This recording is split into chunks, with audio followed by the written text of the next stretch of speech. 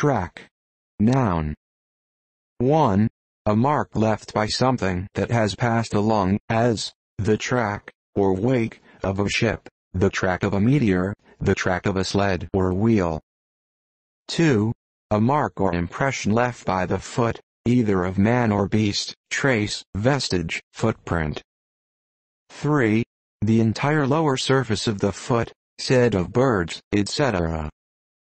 4. A road, a beaten path.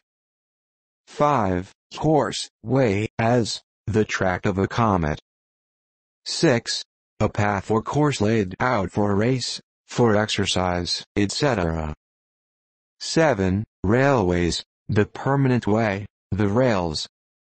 8. A tract or area, as of land. 9. Automotive, the distance between two opposite wheels on a same axle tree, also track width. 10. Automotive, short for caterpillar track. 11. Cricket, the pitch. 12.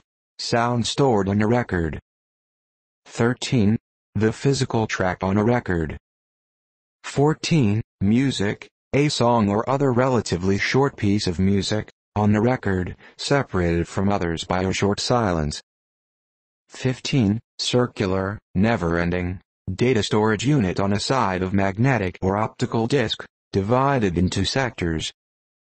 16. Uncountable, sports, the racing events of track and field, track and field in general.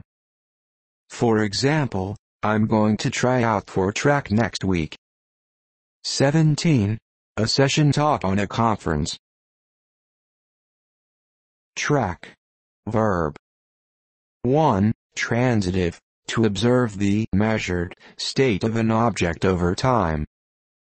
2. Transitive. To monitor the movement of a person or object. 3. Transitive. To discover the location of a person or object, usually in the form track down. 4. Transitive to follow the tracks of. For example, my uncle spent all day tracking the deer. 5. Transitive, to leave in the form of tracks. For example, in winter, my cat tracks mud all over the house.